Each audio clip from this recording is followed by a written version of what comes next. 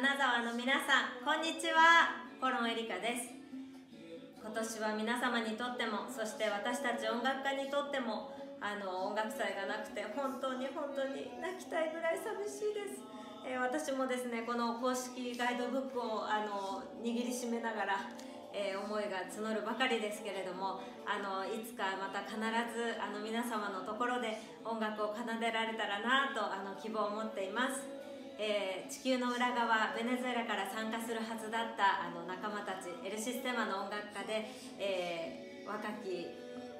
指揮者、えーエンルイス・モンテス・オリバーそしてさまざまな障害を持ちながらもあのいつもラテンの風に乗って、えー、素敵なハーモニーを奏でるララソモスのメンバーもあの美しい金沢の街へいつか行けますことをあの本当に楽しみにしております、えー、世界中が本当に大変な中あの皆様もあのぞれのご苦労があるかと思いますがどうか疲れた時は少しでも音楽で心をほぐしてください。あの音楽は今日も生きています。